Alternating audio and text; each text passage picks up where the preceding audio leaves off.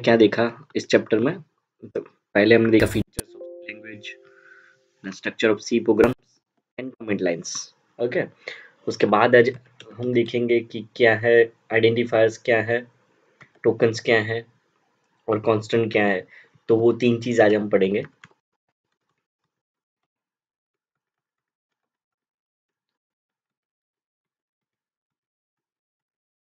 Okay now the let's start the c character sets and tokens.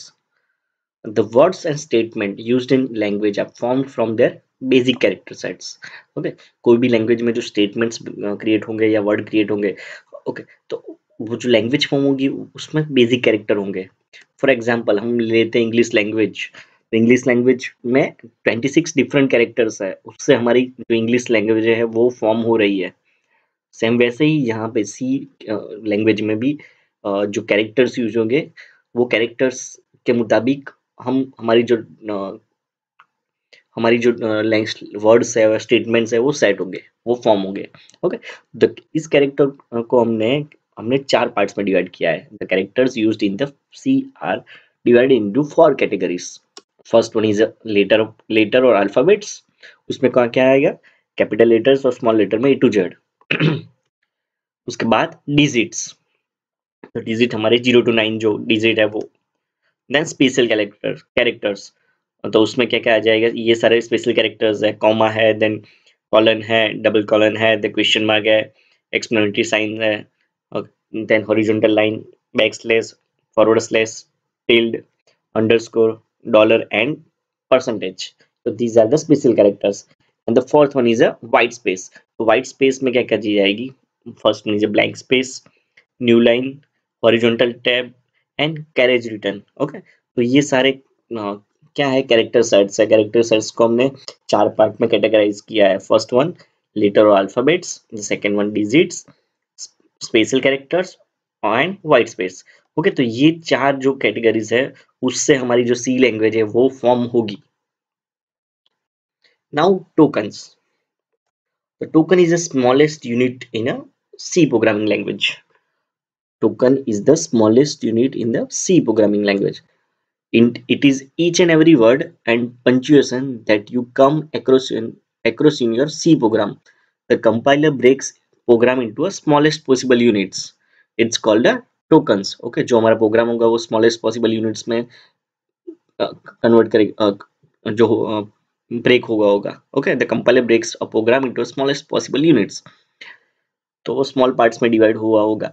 तो उसको हम क्या बोलेंगे? Tokens and proceeds to various stages of the completion a token is divided into six different types, okay? तो token is क्या token is smallest unit in C programs और उसको हम छह पार्ट में कैटेगराइज करेंगे। First one is a keywords the second one is operators तो keywords क्या है? वो हम आगे देखेंगे देन उसके बाद operators one of the most important question in C language then strings उसके बाद constants constant कितने type के हैं then special characters and the last one is identifiers okay तो आज हम दो चीज देखेंगे next में keywords and identifiers now keywords the keywords are the special words used used in a C programming having a specific meaning okay The meaning of these words cannot be changed.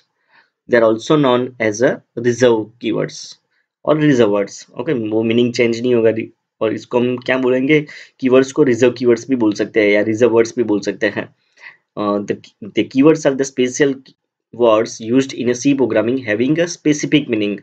Okay already जो inbuilt library है उसमें ये सारे keywords inbuilt already available ही है okay okay, तो कौन से कीवर्ड है कितने टाइप्स के हैं Uh, the below the table gives the list of C keywords as per the ANSI standards. Okay, total 32 keywords है जो हमें याद रखने हैं वो C ANSI के स्टैंडर्ड के मुताबिक यहाँ पे दिए हैं these are reserve words cannot be used as a identifier और ये जो keywords है हम उसको a identifier use नहीं कर पाएँगे okay तो these are the keywords the first one is a auto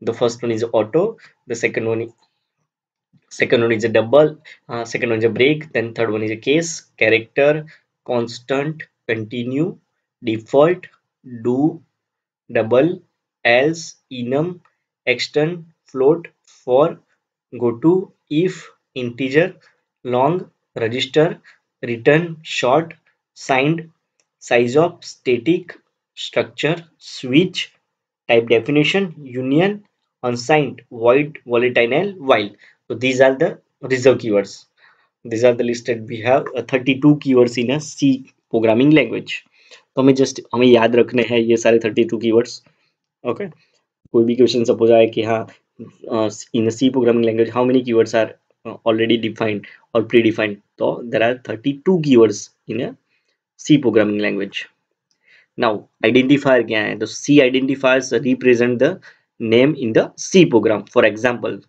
variables, functions, arrays, structures, union, label etc okay तो वो सारे जो नेम है, उसको रिप्रेजेंट करने के लिए हम क्या यूज़ करेंगे? आइडेंटिफायर यूज़ करेंगे। And identifier can be compose of letter such as the upper case lower case underscore digit but the starting letter should be either alphabet or underscore okay now उसके rules क्या है? जो identifiers हम use करेंगे। Identifiers यानी जो हम नाम नेम लिखेंगे वही। Okay the first character of an identifier should be either alphabet or underscore and then followed by an any of the character digit or underscore the second one it's not begin with any numerical digit okay कोई numerical digit से start नहीं होना चाहिए। First character alphabet होना चाहिए या underscore होना चाहिए। उसके बाद कैरेक्टर हो डिजिट हो अंडरस्कोर हो तो उससे कोई मतलब नहीं है। सेकंड सेकंड रूल्स क्या है? It should not begin with the any numerical digit यानी कोई न्यूमेरिकल डिजिट से स्टार्ट नहीं होना चाहिए, जो हम आइडेंटिफायर या नेम जो नेमिंग कन्वेंशन हम क्रिएट कर रहे हैं वो। In identifiers, the both uppercase and lowercase letter are distinct therefore we can say that identifiers are case sensitive यानी कि सपोज़ मैंने कैपिटल में ये लिखा है या स्मॉल लेटर में ये लिखा है तो दोनों चीज़ डिफरेंट होगी। तो हमें ये this is the properties of case sensitive okay identifier क्या है? केस सेंसिटिव है नॉट अ केस इनसेंसिटिव ये केस सेंसिटिव ही है। सी प्रोग्रामिंग में ज़्यादातर जो भी रूल्स हम क्रिएट करेंगे रूल्स हो गए ऑलरेडी प्री डिफाइंड उसमें केस सेंसिटिव ही होंगे compulsory blank space can not be specified within an identifier okay comma और ब्लैंक स्पेस हम यहाँ पे एज आइडेंटिफायर के नेम में यूज़ नहीं करेंगे। Keywords can not be represented as an identifier तो ऑलरेडी हमने प्री डिफाइन कर दिए थर्टी टू कीवर्ड्स तो वो हम आइडेंटिफायर से नहीं ले पाएँगे।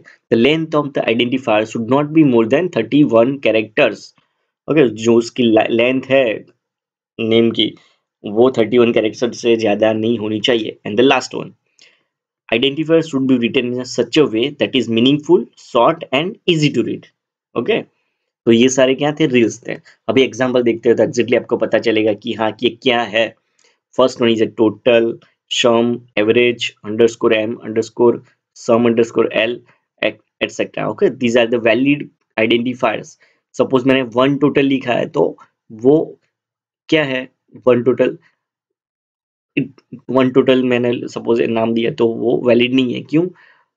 ऑलरेडी हमने रूल्स में डिफाइन किया। It should not begin with the any numerical digit now last topic आज का difference between keywords and identifier keyword तो कीवर्ड क्या है? Keyword is a predefined word already जो हमारी सिस्टम लाइब्रेरी है सी की, उसमें ऑलरेडी इनबिल्ट है। identifier mein the identifier is a user defined word. It must be written in a lowercase letter. Keyword mein it must be written in a lowercase letter. It can be written in both lowercase and uppercase letter. Its meaning is predefined in the C compiler already predefined. Its meaning is not defined in the C compiler. Keyword mein kya hoga it is a combination of the alphabetic characters. It is a combination of alphabetical characters only but identifier में क्या आएगा it is a combination of alphanumerical characters अभी keyword में क्या आएगा it is not contain a underscore character it does not contain the underscore character but यहाँ पे क्या होगा can contain the underscore character. So this is the difference between keyword and identifier. Okay, next lecture में हम देखेंगे कि, operators क्या है और जो हेडर फाइल्स है वो क्या है? जो हेडर फाइल्स उसके बाद कॉन्स्टेंट क्या है? वेरिएबल्स क्या है? डेटा टाइप्स क्या है? नेक्स्ट लेक्चर में देखेंगे। Thank you